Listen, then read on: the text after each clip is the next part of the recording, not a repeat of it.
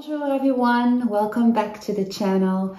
In this video, I'm finally going to show you the kitchen. The kitchen in the Cook's Cottage, the rental that we'll start renting out in 2023 and that we're currently using as our home. If you're new to the channel, welcome. My name is Marloes and I moved to France with my sons and my husband in 2019. Originally from the Netherlands and we bought this as a holiday home, but we spent here one week and then decided we did not want to go back to the Netherlands and we decided to move here permanently. We're in Burgundy, which is a beautiful wine region.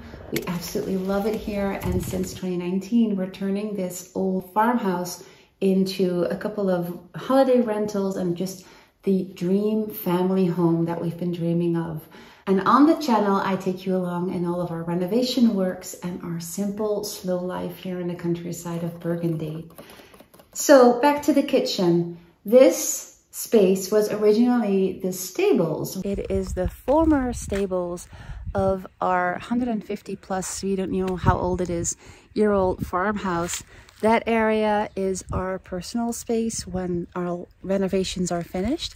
And then this part, really cute, with a large vine, is going to be the cook's cottage. A holiday home that we're currently living in as a family and that will be a rental as of next year, 2023.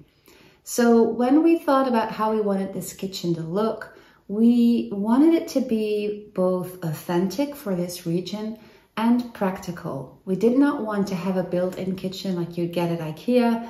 We wanted it to be something more personalized, something more traditional for the region. So before I dive into all the choices we made and all the things and ideas we considered, I know many of you are dying to see the result. You can already see a little bit behind me. So I just am going to add some clips here of the finished results.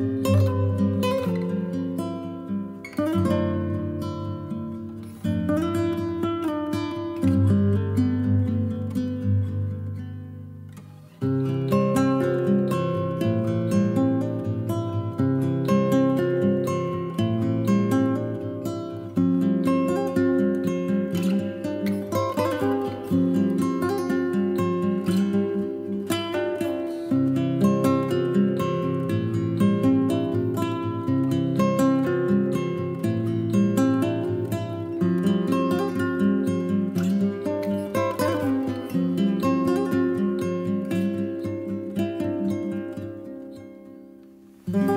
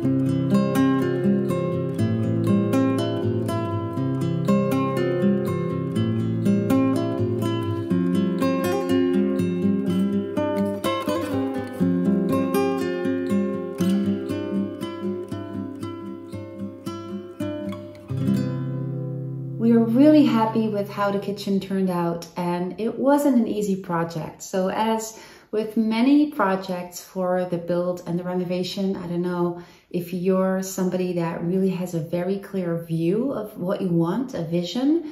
For me, I have a feeling rather than a vision.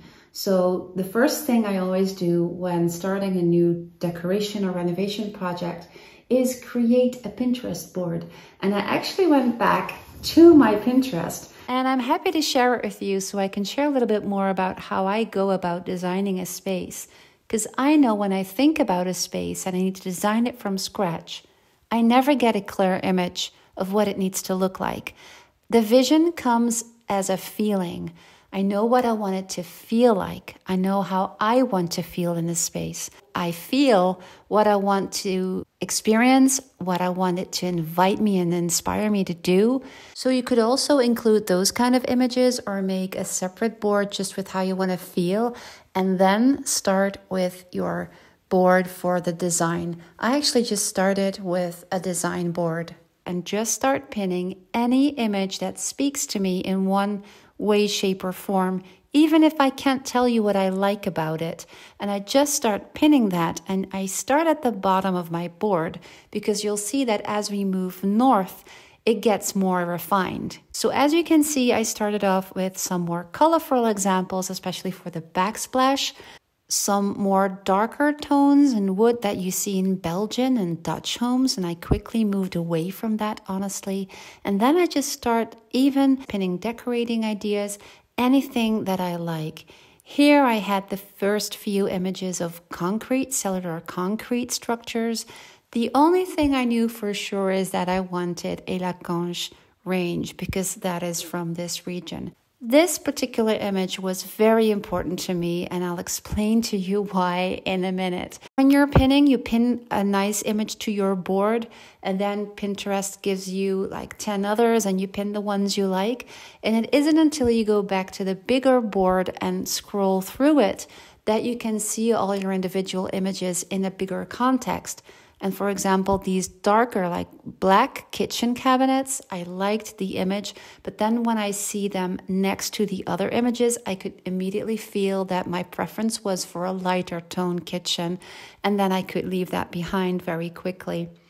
This particular image is actually the the leading image. I think at some point you find that perfect image that feels like everything about it makes you feel happy. It is becoming the leading image in your board, right? So while I just got to the end of this, I felt like, okay, I think I've got it now. And then what was left was the backsplash. I really was so afraid that that would kill the entire look. And I'll explain by going back to that image that I said was so important. That is this one. This is, to me, the image of how not to do it. And it's tricky because all the elements that we used in our kitchen are exactly the same. The limestone countertop and sink, the Lacanche range is the exact same color and finishing that we chose with the brass finishes and the color ivoire. The backsplash is Zellige tiles. Those are Moroccan glazed tiles, very stylish but they don't all have the same color and shades. Hues, maybe is the better word. So you pick a color, for example, beige, but then you get a batch with all difference. That's from the process of how they make them. So it's difficult to get a good view of what that will look like in your kitchen. And the issue with Zellige is that they're quite pricey, and I couldn't find anywhere where I could try a couple. You can't just try one or two because they have so many different hues. You need at least like 10 to get a good feel for what the final result in your kitchen will be. And I couldn't take a couple of tiles from the showroom with me to my home. So that got, got really tricky for me. And I kept having this image of how, how it went completely wrong in my head. And that is because the colors don't go very well together and the finishings there's a lot wrong with the finishing i think in that kitchen. So i ended up just taking tiles at my regular hardware store that are fake zellige that weren't extremely expensive and i just bought a box and i was able to lay them out against the, the wall so i could see this is what it will look like. I was very happy So using Pinterest this way is the ideal way for me to design my dream kitchen in this case. One of the biggest choices to make when designing this kitchen was the countertops. What kind of material did we want for the countertops? And I collected so many images on Pinterest and I could see that I love a more natural look. So either wood, stone or concrete even, that's something that we're considering for the big kitchen. But I also wanted it to be very practical. So I want to be able to just put a hot pan or pots and pans or things from the oven straight onto the countertop. Now you would think that is easy with concrete countertops, but actually you can't put a hot pan on a concrete countertop. The concrete won't be hurt by it, but you have to protect the concrete with a specific layer to make it like, well, to protect it from water and stains and everything. And as I understood, that layer can't really stand the heat shock. Wood, I really like the look of wood, but I didn't quite see how I could make that work. I also really like just putting little pieces of furniture together and then that's a very traditional way of building a kitchen here in France. You just get um, a small, uh, maybe a chest of drawers, and then next to it you'll have another uh, piece of furniture, and then you just put that all together and turn that into the kitchen. But then since this is in such an open space, we thought it would be a bit messy. It wouldn't really work very well. So all of these considerations led us to designing this with concrete, cellular concrete blocks. And then we went with the Pierre de Bourgogne for the countertops, which was a big investment, but it immediately gives our kitchen this traditional look. It's the Pierre so the limestone from the region, it's only like 20 minutes away. And I also really like the sink this way. I like having this large, shallow sink. Some people say that's not practical. It actually really is for me. I can put all my stuff even in the sink. It works almost as an extension of the countertop. And as you can see, the kitchen isn't very big, so you need a lot of space to put stuff. And the other, I think, eye catcher of this kitchen, of course, is the stove. Lacanche is a village. That's where these are made. And I can walk to the village. It's literally the next village. So I just felt this was a really good way to honor the, the pride really of our region and of our village. What I really like about it is that it has a traditional look. You can also get more modern versions. I'm not affiliated to them in any way, by the way, or sponsored. I'm just genuinely very enthusiastic about about the stove. I thought initially, oh, it's it's maybe just a lot of marketing, but honestly, I've made my bread in it. I've made my cakes in it. I've made my tarte in it. I've made my clafoutis in it. I don't cook meat, so I can't say anything about putting big pieces of meat in it but I can see that everything really comes out so much better. Also, what I really like about these stoves is that you can completely personalize them. So here you can actually custom design your entire oven or your entire cooker. So you can choose the size. We have this smallest one. We'll have a bigger one for our big kitchen. And then you can choose even which knobs you want. You can see how do you want the top, do you want gas, induction, and then you can just choose your colors of all of these samples.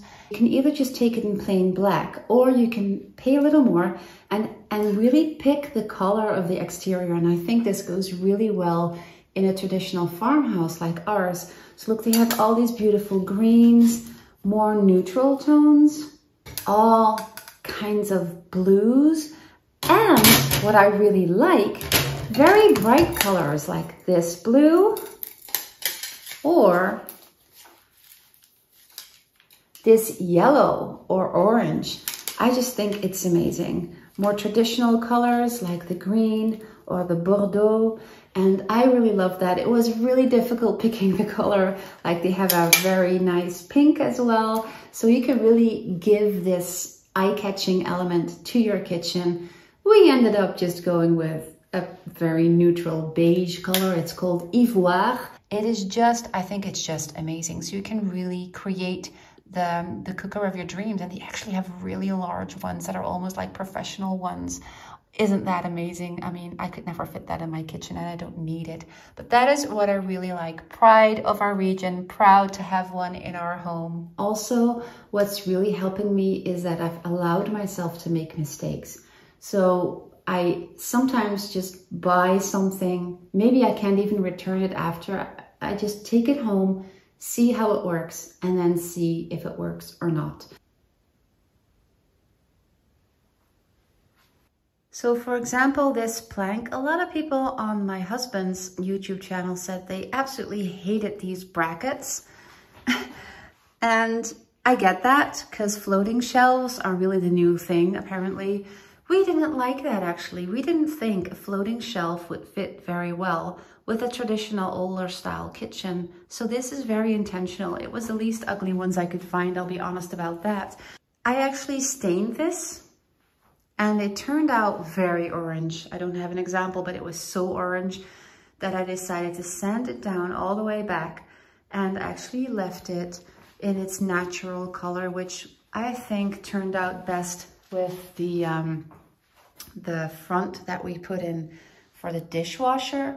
I initially wanted to make that the same color as I have on this large cabinet here. But then when I saw the entire thing, I felt it didn't work. Oh, this is going to go. this was in my van that is still at the garage.